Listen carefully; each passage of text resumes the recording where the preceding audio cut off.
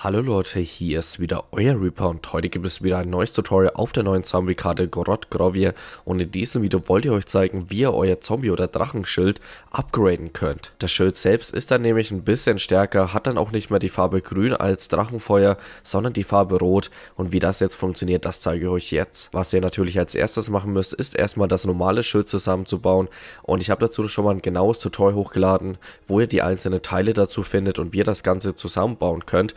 Wer das noch nicht weiß, der kann ja jetzt auf den Link im Video und in der Beschreibung klicken. Wie gesagt, da habe ich das Ganze nochmal verlinkt. Nachdem ihr jetzt das normale Schild zusammengebaut habt, könnt ihr auch schon direkt mit der ersten Challenge anfangen, denn ihr müsst jetzt halt ungefähr 50 Zombies mit dem Drachenfeuer töten von diesem Zombie-Schild. Ihr habt ja diese Spezialfähigkeit, die ihr mit dieser Schießen-Taste immer aktivieren könnt.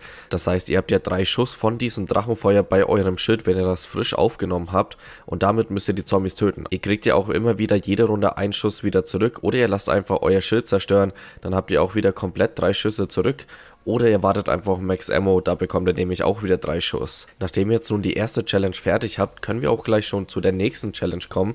Und diese Challenge funktioniert halt nur eben, wenn ihr diese 50 Kills gemacht habt.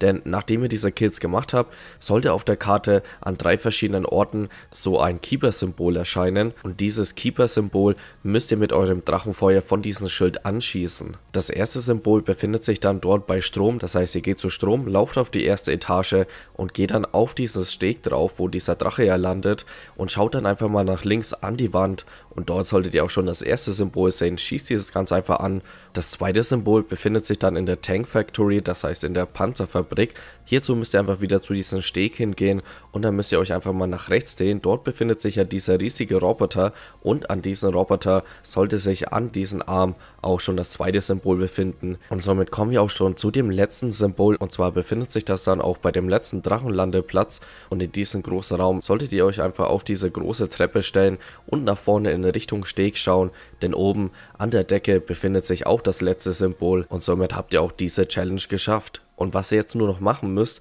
ist irgendwo an einen Platz zu gehen, wo der Drache immer Feuer hinspeit. Denn ihr müsst jetzt mit eurem Zombie-Schild oder mit eurem Drachenschild das Feuer absorbieren. Und das ist wirklich nicht schwierig, denn ihr bekommt ja auch keinen Schaden, wenn ihr das Schild habt und durch das Feuer lauft.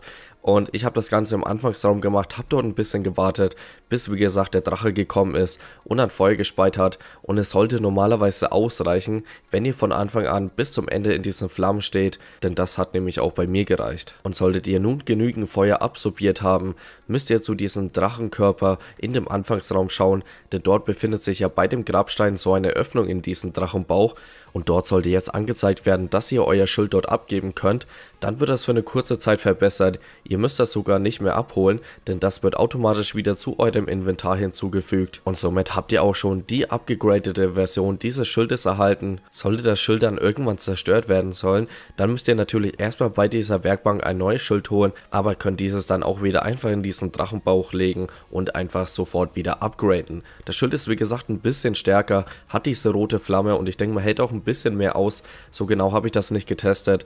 Und damit war es das jetzt eigentlich auch schon wieder zu diesem Video. Ich hoffe natürlich, euch hat das Video gefallen und auch weitergeholfen. Bis zum nächsten Mal. Euer Reaper.